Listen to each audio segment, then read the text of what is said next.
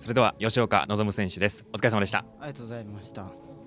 初出場の全日本フリー滑り終えて今まずはどんな気持ちですか？今やっと試合終わったって感じです。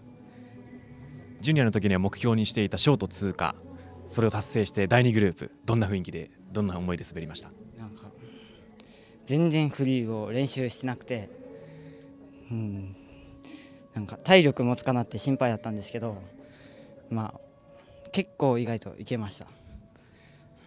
4回転もショートフリー挑んでいきました。どうでしたか？全然手ついたりして綺麗には決まってないんですけどまあパンクとかはしなかったんでそこはいいかなと思います。足の具合っていうのはどうなんですか？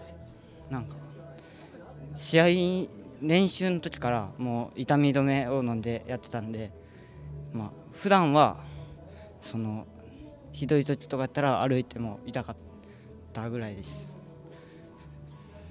改めてこうファンの方からはこれからが楽しみという声も来ていますけれども今年の全日本出場した経験というのはこれからどんなふうに生きていきそうですか、まあ、これだけ人も多いしなんかそのこれな高校1年生でこの大きい舞台に立ったのはとても嬉しいので来年も出れるようにしっかりその下もスケーティングとかも全然シニアの人たちスピードとか速すぎて練習とかでもなんかすごいなって思いながらなんか怖いぐらい速かったのでそれぐらいになって来年はまた出たいなと思います。